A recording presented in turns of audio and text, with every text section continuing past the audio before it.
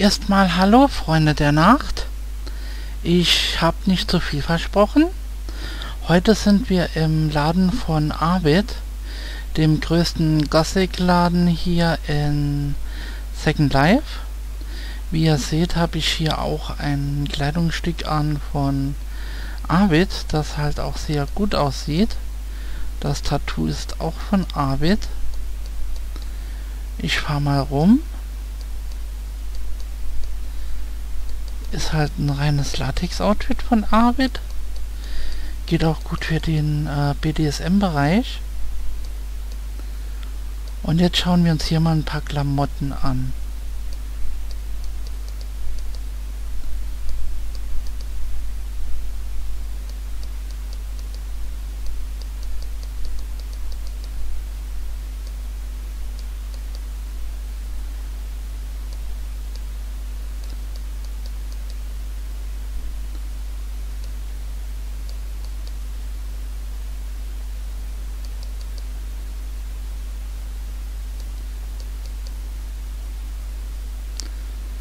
Diese Klamotten kann man sich natürlich hier alle kaufen. Ich gehe hier mal ein Stück weiter. Wie ihr seht, ist der Laden halt sehr groß und auch sehr gemütlich mit Sitzgelegenheiten natürlich. So ziemlich alles, was das Herz begehrt. Und ich habe fast die ganze Kleidung in meinem Inventar, die es hier zu kaufen gibt. Es gibt hier halt die schönsten Sachen. Eine tolle Klamotte neben der anderen halt. Und ja, es ist halt einfach klasse hier, ne? Man kann hier auch rumgehen in andere Abteilungen hier, ne?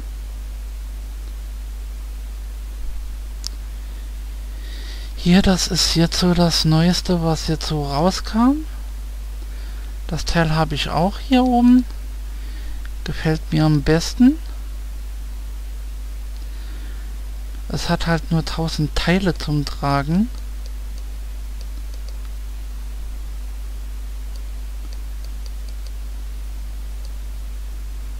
Und es gibt halt hier sehr viel, ne?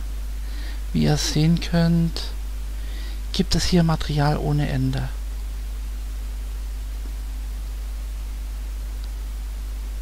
Gehen wir mal hier weiter.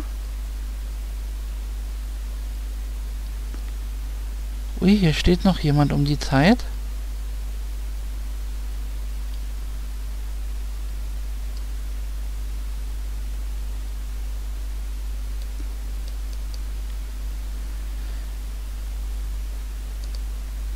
Naja, eine Schönheit ist er ja gerade nicht, ne? Er sieht aus wie ein Lump, finde ich. Also, wie so ein abgetakelter Lump.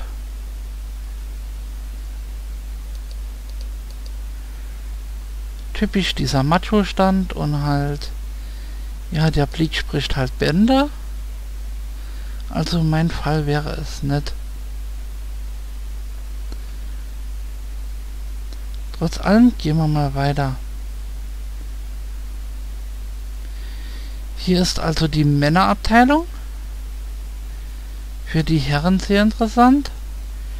Hier können halt also Männer einkaufen. Naja, schnell raus hier, bevor der Typ mich noch irgendwie hier anschreibt. Hier ist der Eingang zu dem Laden. Die Sim halt sehr schön gemacht alles auf Gothic Design halt getrimmt. Der Laden selbst, wenn ich jetzt so hochzoome, befindet sich in einer alten Schlossruine. Wenn ich jetzt so wegscroll, könnt ihr halt sehen, wie halt das Ganze von außen aussieht. Ist eigentlich sehr schön aufgebaut. Und ja, mit Sascha verbringe ich hier auch mal gerne Zeit, wenn er mal Lust dazu hat. Ja, Sascha muss man einfach lieben. Ist ein lustiges Kerlchen. Wir waren aber heute Abend schon ausgegangen. Ich habe ihm mal den Club gezeigt, wo ich euch in dem Video gestern gezeigt habe. Da, der ist nicht übel. Da waren wir ein bisschen tanzen gewesen. Ja, nachher war er halt müde und ist ins Bett. Und ja, ich treibe mich jetzt noch ein bisschen allein hier in SL rum. Ja, und mache dieses Video hier für euch. Hier gibt es halt die ganzen Avatare zu kaufen.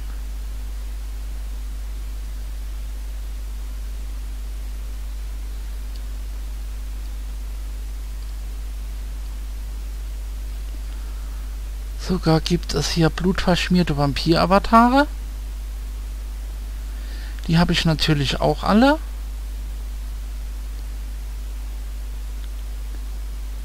Ja, da kostet ein einzelner Skin äh, 400 Linden-Dollar. Und es gibt halt äh, fünf verschiedene Skins davon. Die einigen mehr Blut verschmiert, die anderen halt weniger. Und dieses blutverschmierte Hochzeitskleid gibt, gibt es hier auch noch, ja. Also das hat es mir auch angetan, aber ich weiß nicht so ganz, weil es ist halt weiß und weiß ist nicht meine Farbe. Ich laufe auch real nur in Schwarz rum. Schon immer in Schwarz rumgelaufen, seit frühester Jugend. Ja, und da haben wir es ja. Das blutverschmierte Gothic-Kleid. Das Hochzeitskleid da.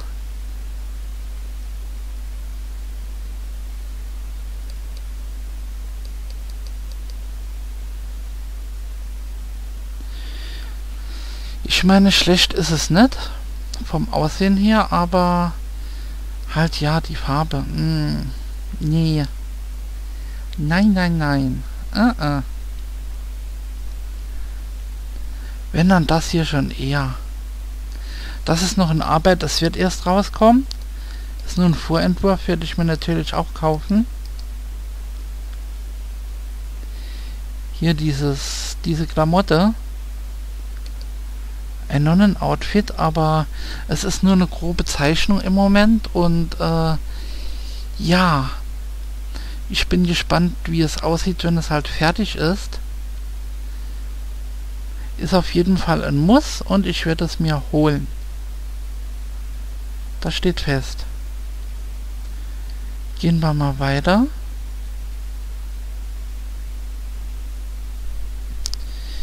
Hier kommen wir an die Frisuren. Die Frisuren hier habe ich auch alle in meinem Inventar. Wenn ich jetzt mein Inventar hier aufklappe, sieht zwar noch nichts aus. Wenn man da oben liest, 140.852 Outfits und Gegenstände drinne. Hier, das sind die Landmarke und hier, das sind alles noch Packungen, die ich noch gar nicht ausgepackt habe. Das ist alles noch Gothic-Klamotte hier in diesem Teil. Ich mach's mal ein bisschen weiter auf hier. Das ist alles noch, alles was ich nicht ausgepackt habe. Zeug ohne Ende. Material. Fast den ganzen Laden im Inventar. Hier in diesen Ordnern ist dann das fertig ausgepackte Zeug, wie man sieht. Obwohl das hier ist auch noch eingepackt, ne? Das hier war ein Geschenkgift bei einer Hand. Hier gibt es ab und zu solche Hunting-Aktionen. Da muss man durch den Laden rennen und kleine versteckte Pakete suchen. Und wenn man Glück hat, sind da halt hier von diesen Outfits drinne. Naja, da habe ich mir ständig so ein zweites Loch in Arsch gefreut, wenn ich sowas gefunden habe.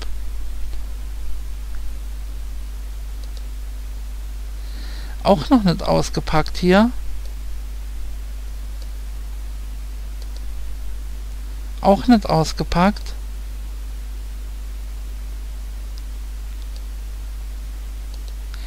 Hier, das ist jetzt ausgepackt, ja. Hier sieht man die verschiedenen Teile. Hier, das ist das Oberteil. Hier, das ist die Unterhose. Hemd, Unterhemd, der Alpha Leer, die Hose, Schuhe, ist alles halt mit drin in den Outfits. Hier sehen wir es auch nochmal.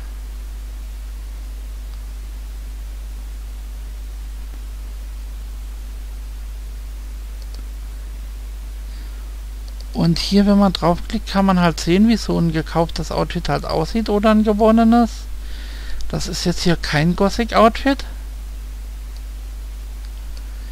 Wie man sieht, das habe ich aber auch irgendwo gewonnen, nicht gekauft. Ich wollte das halt wegen hier oben dem Stirnteil haben, wie man sieht.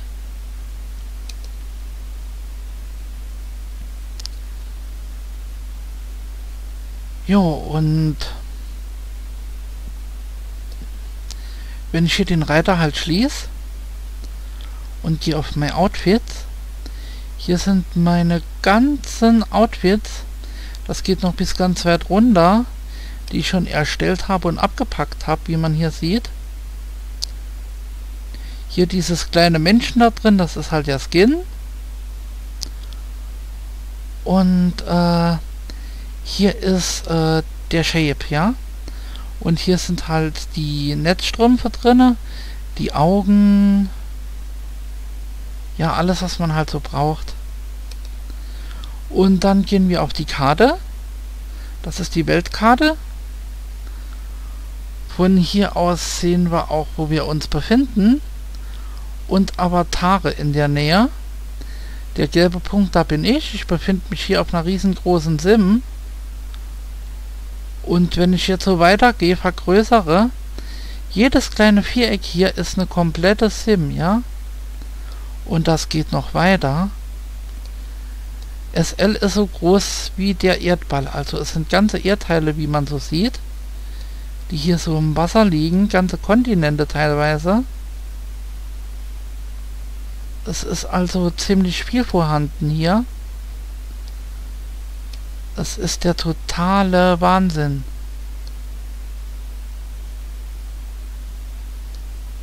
Man kann hier ziemlich viel unternehmen.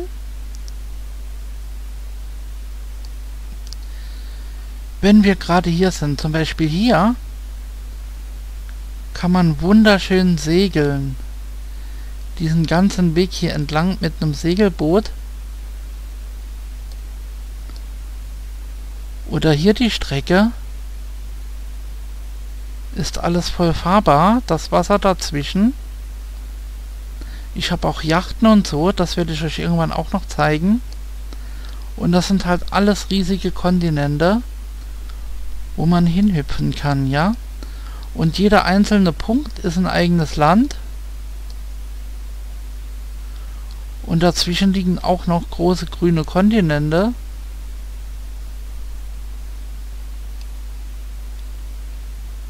Es ist eben unerschöpflich hier. Jetzt habe ich ein bisschen zu weit gescrollt.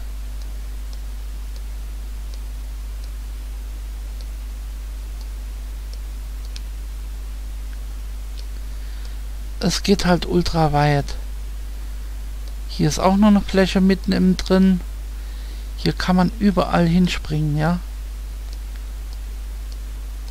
ist jede Menge los, gibt jede Menge zu sehen oder zu erleben. Es ist einfach Wahnsinn. Und die aufgelisteten Sims hier, das sind eben die nicht so direkt Privatländer sind.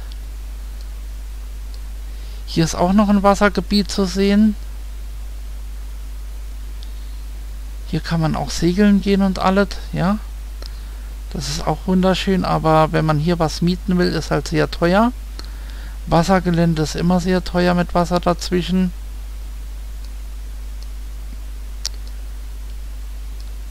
Ja, hier ist mehr so schachbrettmäßig angeordnet.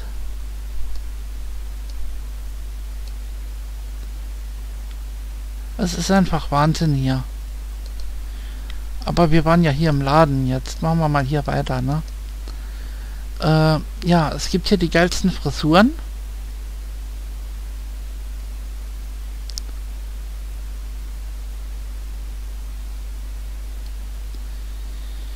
Hier diese Cyberlocks, die habe ich auch. Übrigens wunderschön. Die dazugehörigen Avatare habe ich auch alle.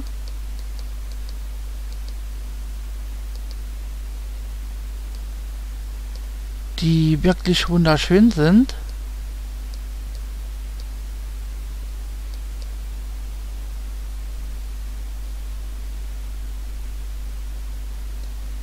Ich jetzt weitergehe,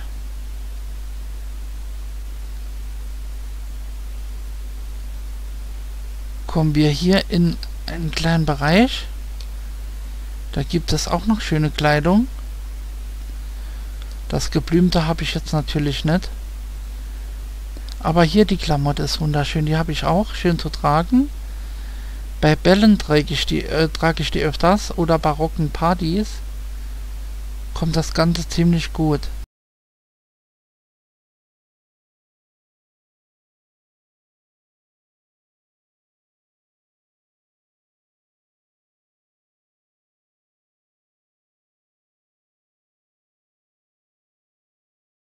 Jetzt gehen wir die Treppe runter.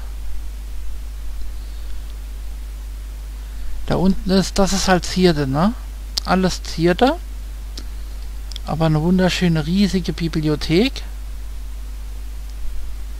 Bräuchte man übrigens alle die Bücher zu lesen, ne?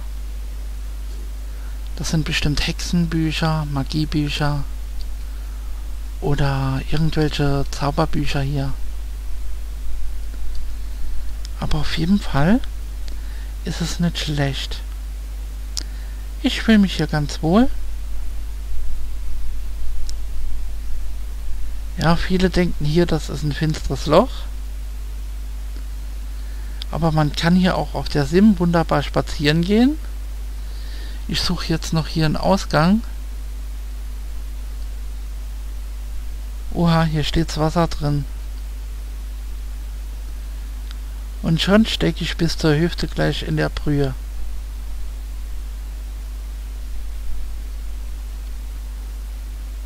Das ist ein Irrgarten hier unten.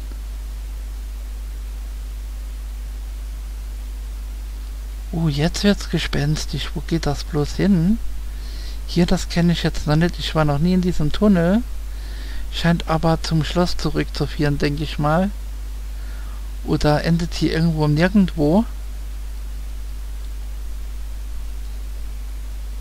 Ah, hier ist ein Ausgang.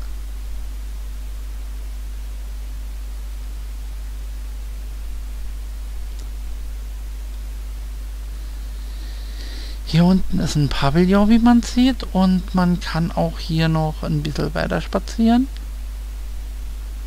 So ein kleiner Hafen ist hier noch.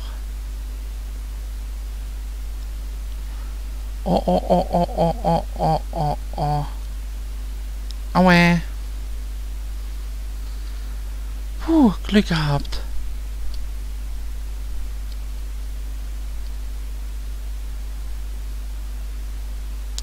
Gehen wir mal weiter.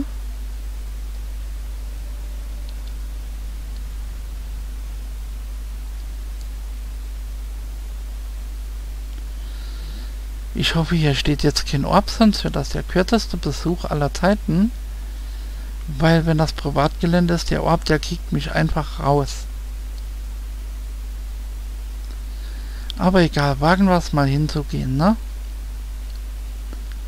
Dann gehen wir mal.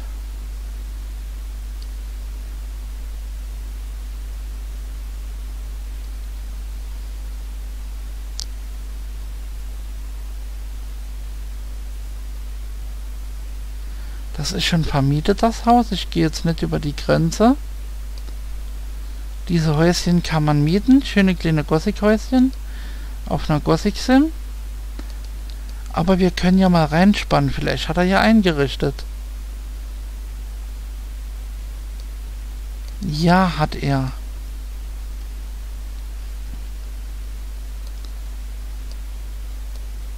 Eher ein bisschen, wie soll ich sagen, äh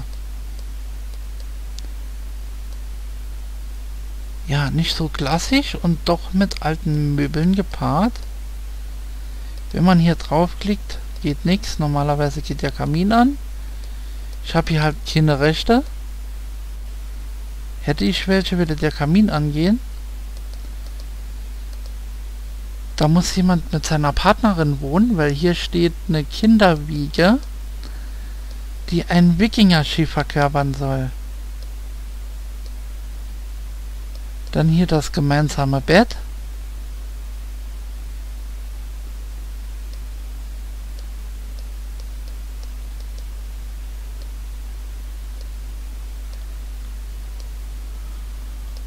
Oben ist nichts.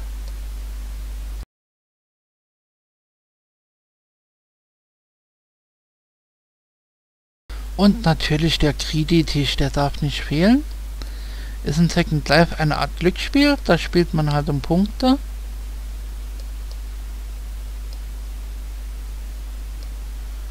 Und hier ist halt der Balkon mit Ausblick aufs Meer.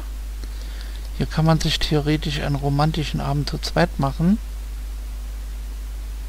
Und ich gehe jetzt mal weiter, weil da hinten war noch was.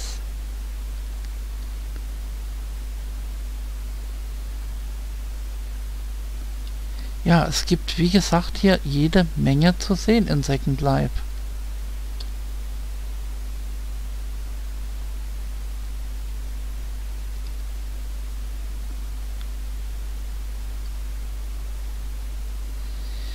Hier noch ein Haus. Er hat jetzt noch für eine Woche gemietet und drei Tage.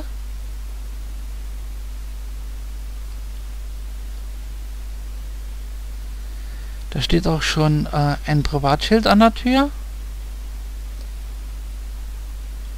Und man kann, wenn man so reinfilmt, ein alter böser Baum steht da. Und gucken wir mal hier in die Wohnung rein. Er hat unten nur ein Kursmenü, aber hat hier nicht eingerichtet. Null.